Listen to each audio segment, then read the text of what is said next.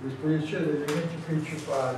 Sì, sì, io faccio recuperare il tempo, mi alzo. E intanto ringrazio l'assessore perché eh, ha fatto un quadro già preciso. E mi soffermo su un termine che è quello che a me ha fatto arrabbiare quando dopo la buona scuola, il dialogo fatto durante tutti i mesi ci è arrivato il testo che è uscito dal governo intitolato riforma del sistema non è una riforma il titolo è sbagliato ed è quello che io contesto.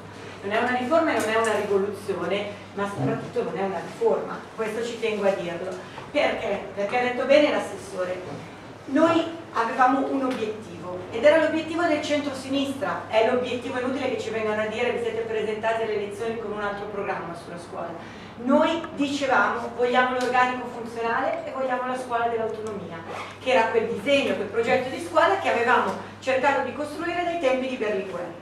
Le norme sull'autonomia, il dirigente lo sa benissimo, ci sono dal 1999, poi 2000, non sono quasi mai state attuate perché mancavano le risorse quindi l'obiettivo era quello di dire, volendo dare gambe alla scuola dell'autonomia, mettiamo finalmente le risorse. Per fare l'autonomia ci vogliono due tipi di risorse, materiali e umane.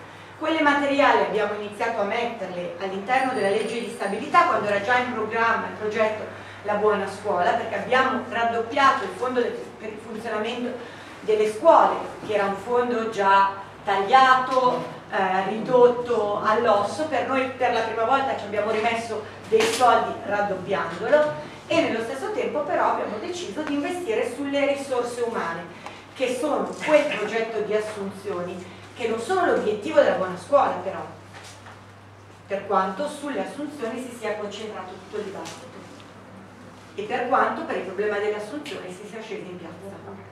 Ma non è questo l'obiettivo della buona scuola, le assunzioni sono funzionali a dare vita a quelle norme, a quelle regole che per noi sono importanti, a dare vita alla scuola dell'autonomia.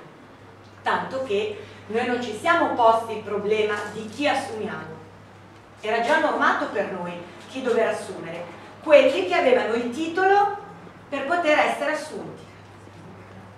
Quelli delle graduatorie ad esaurimento. Chi c'è lì dentro e sotto questo nome graduatoria ed esaurimento ci sono coloro che possono essere assunti perché hanno tutti i requisiti.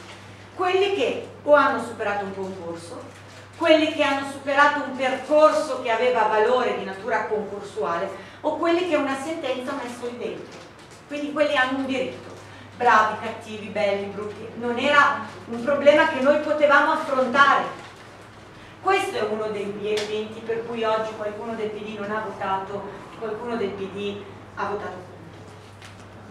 Diciamo perché era contro quel modello di assunzione. Ma noi diciamo, se siamo contrari alle graduatorie e se diciamo che vogliamo mettere per una volta la parola fine, una bella croce sopra il problema del precariato, e guardate, dire di risolvere il precariato non significa ammazzare i precari come ci dicono, ma significa cercare di mettere ordine, cominciare a mettere ordine, da qualche parte devi iniziare e inizi laddove tu hai la possibilità di assumere, quelli hanno quel diritto. Nello stesso tempo però noi abbiamo detto sistemiamo anche dall'altra parte, quelli che non hanno quel diritto ma hanno un'abilitazione, perché io ricordo che dal 1999 al 2012 l'Italia, i governi italiani non hanno bandito concorsi, quindi noi avevamo gente che si laureava, la scuola che aveva bisogno di quelle risorse e gente che però non poteva entrare in ruolo perché non venivano fatti i concorsi e gente a cui non era persino stato detto no, ti, chiudiamo i corsi per poterti abilitare. Allora, noi abbiamo dato uno sguardo anche a quelli, abbiamo guardato qual è il fabbisogno abbiamo detto benissimo,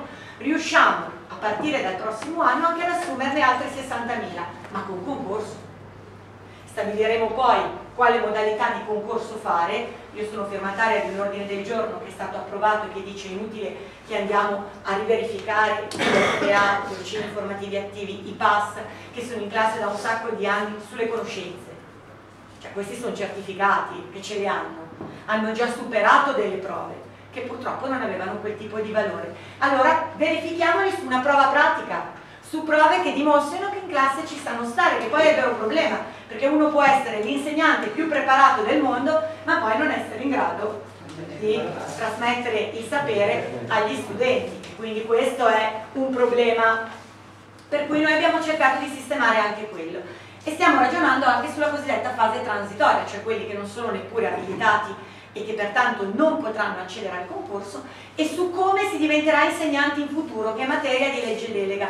Io qua me la vedo, scusate, ma ho fatto un anno e mezzo di passione, almeno una cosa che il governo ha acquisito è la mia proposta di legge su come si diventerà insegnanti in futuro, che è entrata in legge delega e quindi quello sarà il modello. Cioè, mentre oggi per diventare insegnanti tu pagavi, perché dovevi pagare l'abilitazione, noi diciamo se vuoi diventare insegnante ti paga lo Stato. Ti mettiamo una bella barriera dopo la laurea, che è una laurea, quella che vuoi, di lettere in filosofia, specialistica, con l'indirizzo che vuoi, in cui metti dentro dei bei crediti però formativi che hanno un indirizzo metodologico e didattico e poi supererai, devi superare un test super selettivo motivazionale di conoscenza per poter accedere a quella fase successiva e la fase successiva è pagata dallo Stato. Perché tu insegnante, che non sei ancora insegnante ma che vuoi diventarlo, avrai un anno all'università ulteriore e gli altri due anni a scuola, perché la formazione, imparare a diventare insegnanti, si impara a scuola, con tutto il rispetto per le università, ma si impara a scuola quindi attraverso le supplenze, attraverso i percorsi con docenti senior che hanno esperienza, che sono docenti magari anche formatori, perché la nostra scuola ha un patrimonio umano notevole e ricchissimo che non può essere utilizzato perché noi fino ad oggi siamo stati vincolati, grazie alla riforma Gelmini, alle ore in classe di lezione frontale, punto. L'insegnante veniva usato per quello, tutto il resto era, possiamo dire, manodopera gratuita perché eh, il fondo di istituto tagliato, la possibilità scarsissima di pagare i progetti, o c'è un'amministrazione che ci mette dentro qua, qualche soldino con il piano del diritto allo studio per finanziarne qualcuno, o altrimenti gli insegnanti con buona volontà fanno le cose, tipo una roba sbagliata. Questa cosa noi diciamo non ci va bene.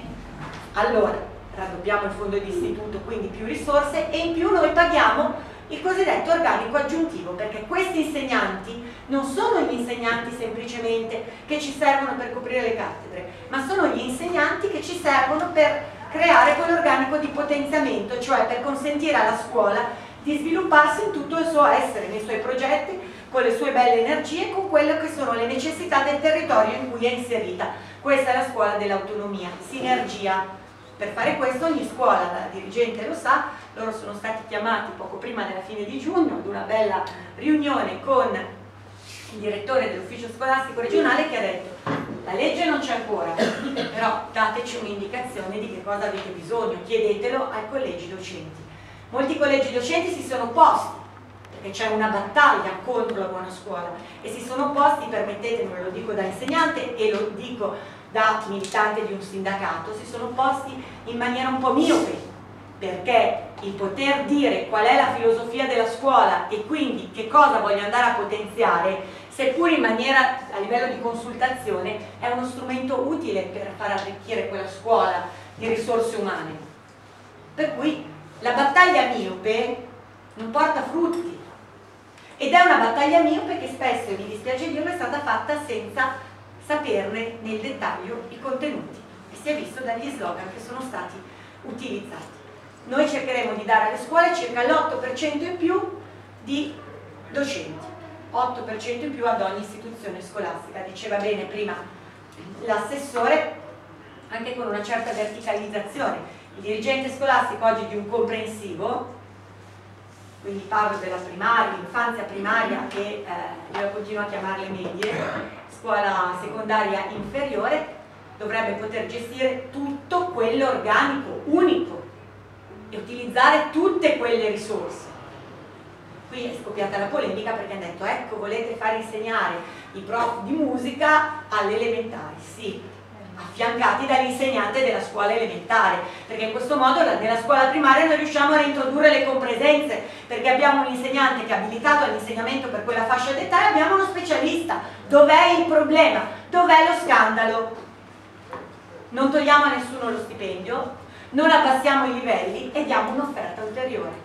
E insegniamo alle scuole a lavorare insieme, i comprensivi come i comprensivi, ma anche alle scuole, e qui davvero l'assessore dimostra anche di intendersene, in rete. Contaminazione tra le scuole. patrimonio scolastico è patrimonio comune. E qui il punto dolente, perché per fare questo c'è bisogno di due cose. Gli albi territoriali, bruttissimo nome, ma si chiamano così, che sono propedeutici alla rete di scuole e il fatto che io possa scegliere la figura professionale di cui ho bisogno, che è stata declinata come slogan dalla cosiddetto slogan preside sceriffo. Allora, noi non vogliamo presidi sceriffi e non vogliamo la chiamata diretta. La PREA, questo nome è risuonato anche oggi in aula, aveva in mente la chiamata diretta, che significava, io dirigente scolastico, anzi ne abbiamo una qua, c'è un elenco, prima, seconda, terza fascia, chiunque, scelgo chi voglio io. Questa è chiamata diretta, è chiamata diretta anche per, in qualsiasi ambito di lavoro, io chiamo in maniera discrezionale. Noi diciamo un'altra cosa nella buona scuola, che è scritta nero su bianco, non è l'interpretazione della Malpezzi, c'è scritto così, andatevi a vedere gli articoli, un po' noiosi, ma c'è scritto così, che il dirigente scolastico in un elenco, cioè quello della rete, dell'albo territoriale, di gente assunta e tutta in ruolo, cui nessuno toglie lo stipendio, con contratto